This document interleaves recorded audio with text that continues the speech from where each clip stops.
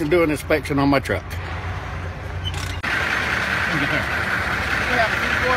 Check the lights up front. It's gonna be left turn, right turn. Sir, how do you sir, know- sir, uh, number one, you're asking me to violate my Fifth Amendment right against the United States Constitution What do you mean? of self-incrimination. You're asking me to help you do something that could possibly cost me my job. And if you if I if you met a stranger today that asked you to do the same thing, you tell him no. I cannot help you inspect my truck. There is no law, no statute, nowhere that says I have to. I, I mean, I'm sorry, and I'm, I'm being respectful. So, I'm I'm gonna say this. I'm doing an inspection, a safety inspection on your truck. That's fine. I need your cooperation. I'm sorry. I can't do it. You're asking me to violate my Fifth Amendment right. So aren't you?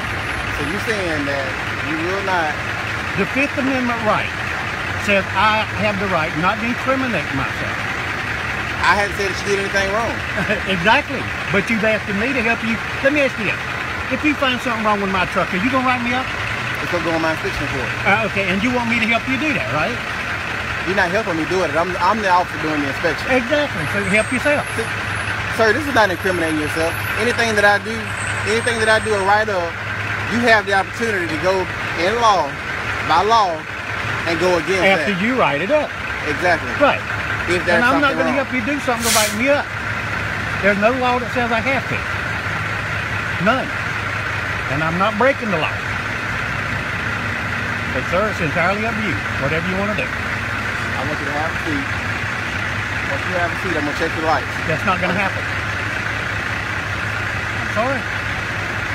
I'm sorry. And I'm being respectful. I am not going to uh, uh, block you in any way from doing an inspection. I'm just not going to help you do it.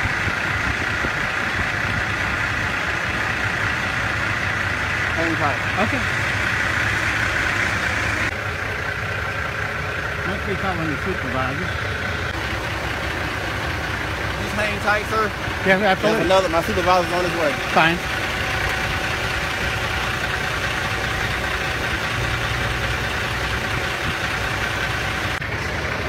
That's your question. Am I being detained so your supervisor Sir, can you be will- here? So you will stay here until my supervisor gets here. Okay, so I am being detained.